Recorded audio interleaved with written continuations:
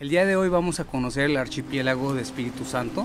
Vamos a pasar por pequeños islotes. Nos vamos a dirigir hacia la isla Espíritu Santo, pero vamos a detenernos en un lugar que se llama San Gabriel, que hace muchos años fue un lugar, un, eh, de perla madre, y es un lugar muy emblemático de la zona, ya que ahí anidan eh, fragatas, es una área natural protegida y también tiene una historia muy padre que hace muchísimos años un creador de perla madre, Gastón Vives, que estuvo aquí en, La Paz, eh, bueno, se habla de que de aquí salió la Carmenaida, una perla que tomó ese nombre de Carmen y Naida, las hijas de, este señor Gastón Vives,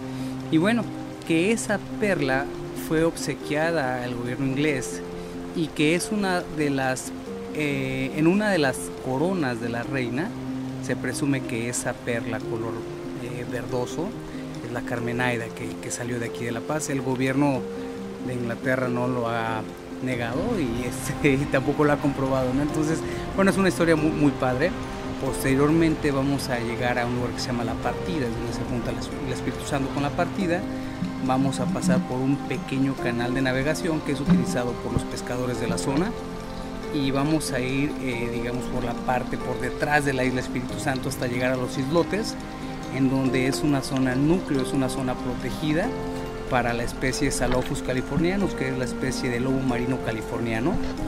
El día de hoy ya eh, estamos ya en octubre, ya está abierto, ya podemos bajar a hacer buceo, inclusive a snorkelear cerca de los animales sin contacto, está prohibido el contacto, no podemos acosarlos ni tocarlos, únicamente podemos observarlos y disfrutar de, del carisma que tienen esos animales y posteriormente vamos a parar también a tener un pequeño launch en una de esas pequeñas bahías del Espíritu Santo que se llama el Candelero, en donde ustedes pues van a poder disfrutar de sus burritos y a refrescarnos un poco.